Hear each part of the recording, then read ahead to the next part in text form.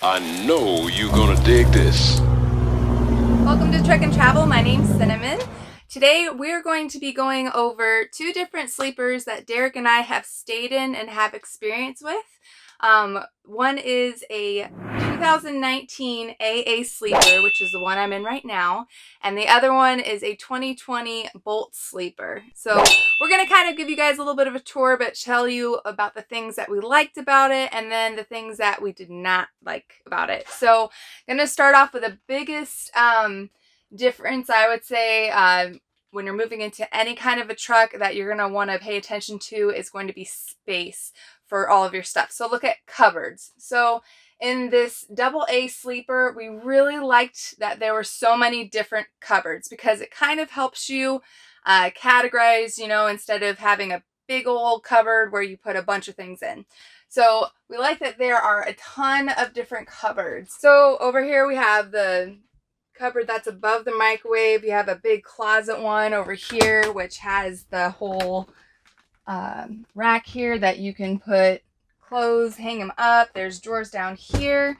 Um, this one doesn't come out because you have the um, the sink, but it does fold down. So you have this tiny little drawer here. And this one, they actually mounted the fire extinguisher and the box that has our emergency triangles. So you do have a little bit of room for something. We actually put our um, our big container that had cat food in it. It was easy to grab even when the bed was down. Uh, you have all of these cupboards up here. And then you have all these cupboards down here. The side ones, these actually go back a little bit further. So that's where you're to get your bit, your most space. So although there are a lot of cupboards, kind of a downside of it is that they only go back so far. So they're not the deepest thing. The ones on the bottom do go back a little bit further than some of the ones on the top do. So if you are someone who likes to have totes and has it have it in a tote that you can just pull it out and have a lot of loose things, then you're not going to be able to have like a good sized tote. The the openings are not very big to be able to do that. So that is kind of a downside. Another downside is that when someone's in the sleeper and the bed is down, you have all of those back ones that you can't get into while somebody is sleeping. So that's also something that kind of um, is maybe a, a downside. So you have the fan up top, which is awesome. I like where it is, but also the flap that comes down is in the way of opening up the cupboards and stuff. And for me, it just, if you're moving down the road and you're trying to get to something, it's sometimes it's inconvenient because I'm not tall enough to really hold it all the way up and open this door. So that's something that drove me a little bit crazy. Um, in both of the sleepers, the fridge and the freezer combination was the exact same. So there's nothing um, different with that. And so it's nice though that we have the fridge and the freezer over there too. For the TV, um, in this one, we liked where it was at. It felt a little, you know, a good distance. It's not the biggest TV or anything, but we did really like that. Something that we really liked and that was very convenient with the AA sleeper was that when we were sleeping and our head was on this end, we could just reach up and grab or change the fan, which the fan, uh, we felt it at our head.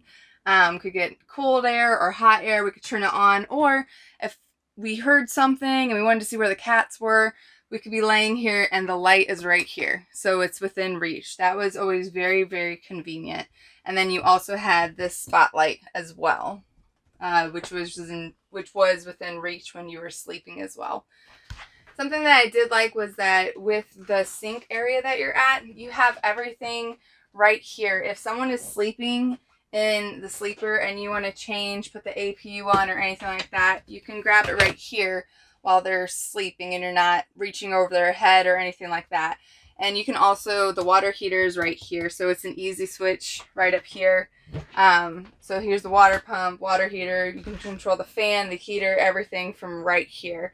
And we actually, in uh, another video, if you wanted to check out our tour of our 2019 uh, Cascadia Freightliner, we showed that we had curtains that we, we did have uh, hanging up where somebody was sleeping in the sleeper, uh, that curtain would be pulled So then if I'm over here, it's not bothering anybody. So that was very convenient that that was right there. Something that I do like about this sleeper is that when the bed is down, uh, because of how the table is and it goes straight flat up against the bottom of the bed, when this is down, you we actually have a lot more space underneath it um, than the other one, which we will show you with that one. So we were able to put a cat litter, um, a bag, and, you know, basically three different rows of different stuff we were able to put underneath it. So there was a lot of space underneath it to crawl. And for the cats, when the bed was down, um, this space from about here on down was completely clear. So they were actually able to go back into kind of like a nook. And so they like to run back there when they're doing their laps and stuff. So they really like that. Another difference between the two different sleepers is that in this AA sleeper, the windows actually move from one side to the other. Where with the other one, it actually pu pushes out and pulls in. So that's the difference too. Another one of the difference is actually, and this is a huge thing for us, is going to be the curtains.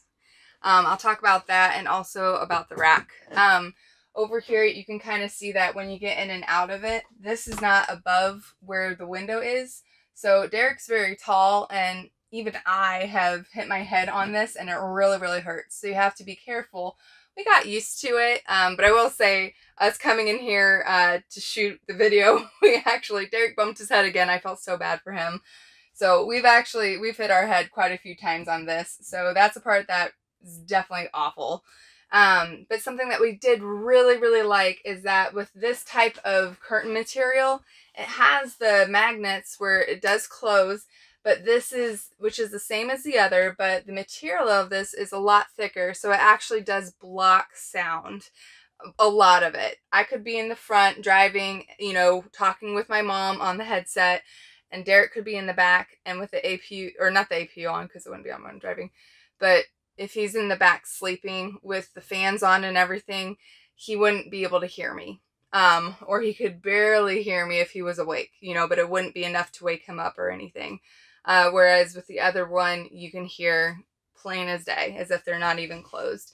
Um, another thing is that on this rack, these slide easy, but something that was really a pain is that the type of clasps that are on this rack they actually, it doesn't seem like it right now, but they come off very, very easy. And they even come off this way too. So we would have to constantly put these back and up here too. And that was a really big pain in the butt. Another thing that we did like in this truck was we have a lot of space up here where um, we can store stuff. There was a possibility, depending on how well you stored stuff here, um, if it would fall down. So you just had to be careful on how you would set it up uh, so that it wouldn't, you know, fall over or anything. But we, we kind of got used to it. We had everything set up the way we wanted to.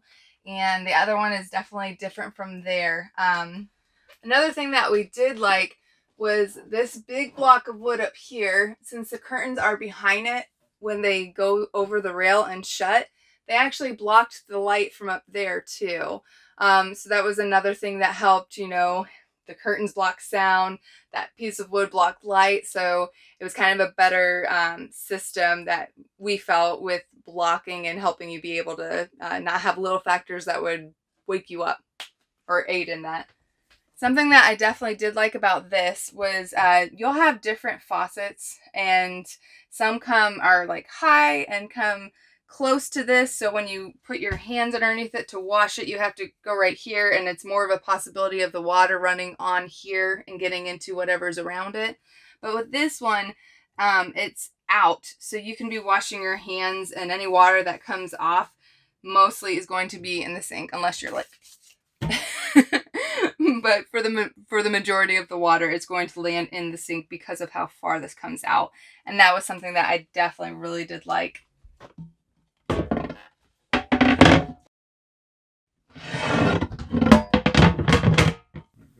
So in the Bolt Sleeper, the cupboards are way different. So I will do, let's do this one for instance. They are way deeper and way bigger. So you can fit a lot of things back here. Here's like an extra bin of ours.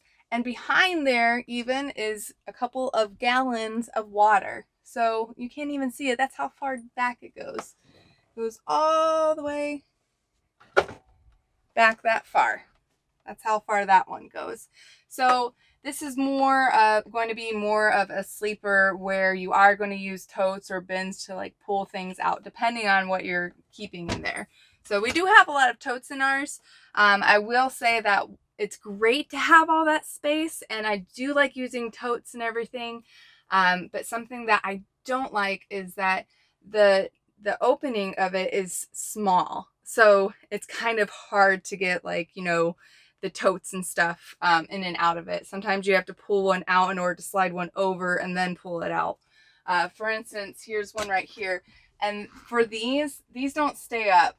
They, you have to like hold it up in order to squeeze stuff out. So over here we have a couple of uh, water gallons over here, but in order to pull them out, I have to take stuff out and then push them over and pull them out. So that's going to be kind of the case with uh, with this bolt sleeper that we do have. So another difference with the bolt sleeper and the AA sleeper is the fan. Now I do love how it is over here and I do love that um, even with this down, it's not, it's only in the way of these two, but because these two are over the bed, the stuff that's in here is going to be stuff that I don't that I that we use the least. So it's not really one that gets in the way of the cupboard space like the other one. Um, so I do like that, but the other one is way cooler. the other one has several different speeds, whereas this one only has one. And then the other one has a remote where you can turn it on and off. This one, you have to push that button in order to turn it on. The other one if it's raining, it has a sensor where it will automatically stop the fan and it will close. This one does not do that. And sometimes it's kind of hard. I think it might be because we're also not used to not using a remote and we have to do it ourselves and it's new to us. But sometimes you can't even tell by looking at it which way is open, which way is closed, which that's something that we'll get used to. But having the remote was very, very convenient. So with the Bolt Sleeper, you have the slant over here where the fan is located. In the other one, the fan is more up there. So you have the whole row of cupboard space that you could utilize. Whereas this one, you're missing out on some extra space that you could use. On this one, something that is definitely different than the other one is you have this big safety net. um, on the other one, you just have one seat belt that goes across. And although that's fine, this one, I definitely feel like if we were to roll or anything like that, I wouldn't be, you know, leaning over the seatbelt. I would actually be caught, you know, all ends of my body would be caught with this.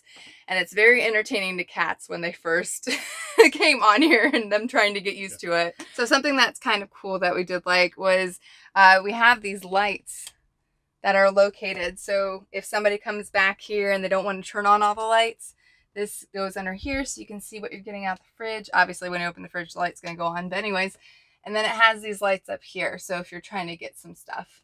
But you do kind of see it when you're in the sleeper. Even though we have our curtain thing that we have that uh, my mother-in-law made. And so we have that to kind of help with the light, but there's still like that gap up top. Another thing with the Bolt Sleeper uh, we were a little disappointed because although we were so stoked that we actually have a cooktop in here, we were actually disappointed because it was supposed to be indented um, where it was in and it was supposed to have a covering. So when the covering is on top of the burner, it would actually be flush uh, with the countertop. Darrick actually had to make this cover for it so that the cats wouldn't step on it and turn it on.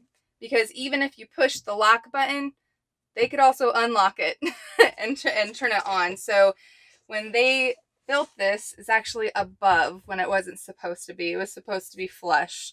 So they kind of did mess up on that. So Darrick had to take some time and build this so that that way the cat, cats don't accidentally turn that on. It's supposed to look like this, where everything is flush. And so this was supposed to be something that you would take off and then it would be indented.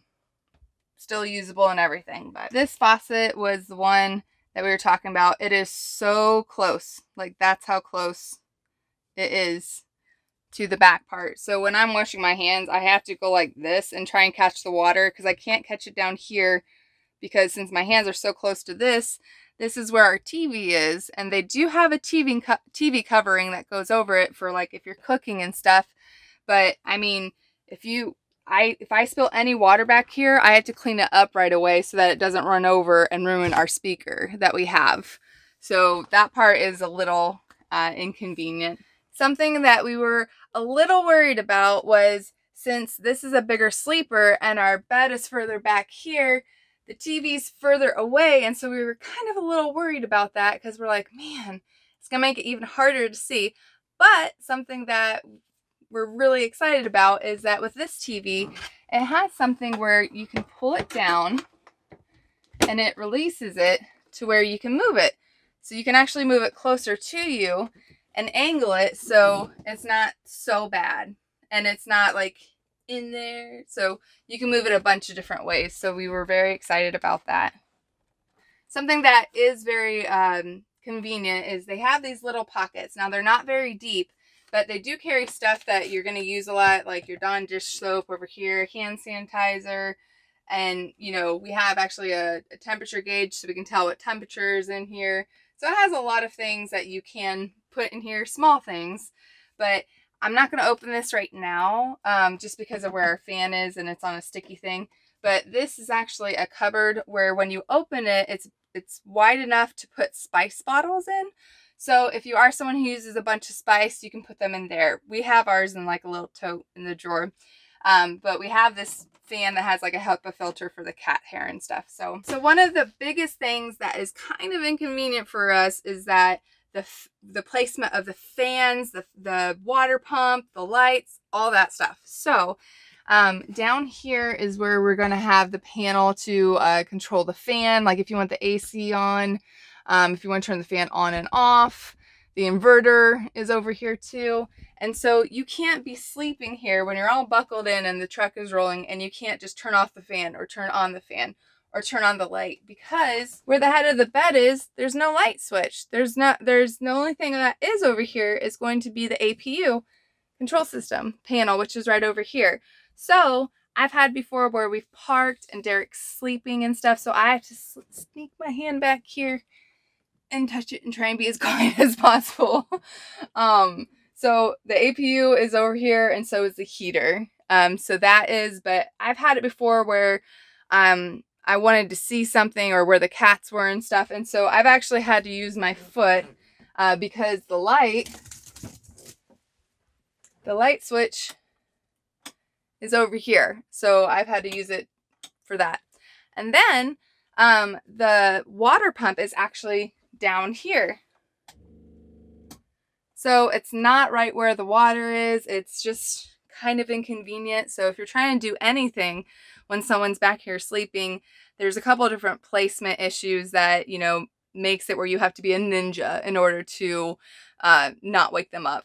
So with the other sleeper, with the AA sleeper, there was a separate switch that was for the water heater. Or um, there was the water pump and then the water heater. And with this one, something that is fantastic and a huge game changer, I will say, is that all you have to do is hit that water pump and the water gets hot like that. It is awesome. So you're not, you know, trying to warm it up or trying to like running all this water waiting for it to get hot or anything. So that is a huge plus on this sleeper. Over here you do have the windows that go in and out. Where it goes out and goes back in. Something that is a really big, um, I don't want to call it a problem, but a really big kind of grievance, I would say right now, because it does keep us up a little bit, is the whole fanning system. So the vents that blow out the air for the fans are at your feet. Um, the whole tubing for the AC and everything, or for the vans, uh, vans go through here. And so you have the air coming down at your feet, which is great, but the vents that are out by your head, so there's one right above here in the corner and there's some over there too, nothing comes out. So there are vents that are by our head, but they have them, they don't have them set up to have any air that comes through and that's how they come um, which does not make any sense because everyone knows that when you're sleeping, you want that noise near your head and you want that cool air on you to help you sleep too. So that just really stinks. I will say that although it does have um, a lot of things that are not convenient with it, the bathroom does make a huge difference, but we can't really compare because the other one does not have a bathroom. Um, but if this one did not have a bathroom in it, I think I might be just a little grumpy with no air on my face and like kind of the placement of things. So um, there's that. But here are the curtains that we were talking about um, that have, they're very, very thin. They're cloth material instead of like a, a leatherish, you know, material that's thicker in the other sleeper. So these are very thin and I'm actually going to close them and if I'm talking on the phone and I'm talking in the exact same tone that I was, you know, the exact same level and everything, you can definitely hear me. Like it makes absolutely no difference. Um, even with everything going on, even with the engine on and all that too. So that kind of really stinks. so although the curtains don't block the noise that's coming from the front to the back when you're sleeping. Something that is definitely a thumbs up for the Bolt Sleeper is that they do have a lot of insulation, so it does block a lot of the outside noises, which is very convenient when you're sleeping. Or if you are running the TCU, so we have our reefer running and that's going, usually it sounds like a lawnmower. In the other sleeper, uh, it does sound like a lawnmower is underneath your bed. So with this one, it's not as bad. So that's really, really awesome. So there is a plus and there is kind of a negative um, with these up here. So the plus is that since these are enclosed, you're not going to have things that are going to fall if you have to, you know, put on the brakes quick or anything like that, or if you all of a sudden hit uh, stop traffic. You know, granted, you're going to have a lot of space in front of you, but sometimes you do have to stop anyways fast. Um, so this being enclosed, that is like a safety issue. That is wonderful. The only thing that kind of stinks is that although there are these, this one, for instance, does not go back very far. That's about as far at the top. And it does slant, but even the bottom part is about that that big. Whereas the other one, it was bigger. Sorry, it was bigger more of a slant. It did have the slant, but you were able to put a lot more in it. So, um, and then also you have the enclosed where this one actually goes through to the other one. And then there's more space back here, but the opening is small. So it's kind of inconvenient. You have to take stuff out in order to get the stuff against the wall. So you have to make sure that when you're organizing and putting stuff up there, um, that you put stuff you're not going to use as much in like against the wall. It also has the side cupboards too, and I do like them because they they are they're tall and they're they do go deeper. So that's where you're, get, you're gonna get your majority of your room is the ones on the side. Oh, and I do take out our clipboard and stuff a lot, and I don't want to damage this, so that's why I put some blue tape right there something that we kind of want to see if they can maybe look at the next time we're at Bolt is we have the track that they put these curtains and these curtains something something that I definitely did like is that they're very easy to take down. Uh, the other ones you had to really, you know, since it was thicker material, you had to really pull to get them, you know, from behind the chairs and stuff. These are very easy and out of the way. And they do slide very easy. But the ones that are over here, I don't know if there's some kind of issue with the track, but we literally have to push and I feel like we're going to break it. um, but something that was kind of cool is that this does block out more light because um, I feel like it's it's closer at the top, whereas the other one, you know, had more space uh, between the top of the window and where the track starts. So since this one's higher and we're not hitting our heads on it, and that is definitely a big plus. Something that we did like about the other sleeper although it was shorter, we were able to fit our trash can behind our uh, chair. So if we were going to throw something away, we could reach it where we were sitting and be able to throw stuff away. For this one, there's no space under behind it because that's, you know, where the bathroom is and stuff. So in our bathroom, we do have our trash uh, thing. So we actually got this little tiny guy over here so that, you know, in between shifts, we can go ahead and empty them out for like the small things. But obviously if it's a big thing, it hasn't really been a huge issue just to go in there and throw and throw stuff away. And actually it being in there, the cats do stay out of it. So, because they don't go in there. So, okay. So the reason why we actually can't have a trash um, is because there's not really any room here, but it's also because we have this big wooden platform right here. Um, which there was one in the other one, but it was not this high off the ground at all.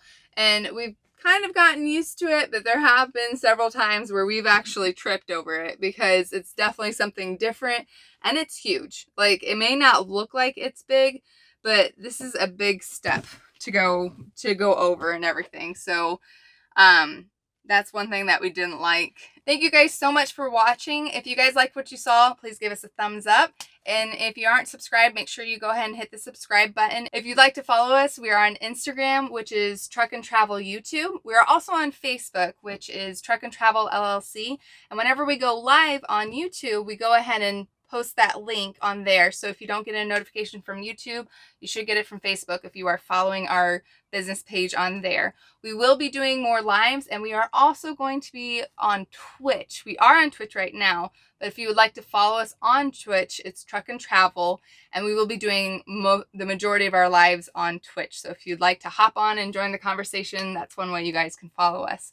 So let us know if you guys have any questions about either of the sleepers, um, any observations you may have, or anything you guys would like to add, what the weather's like in your area, how your week's going, and just tell us, say hi.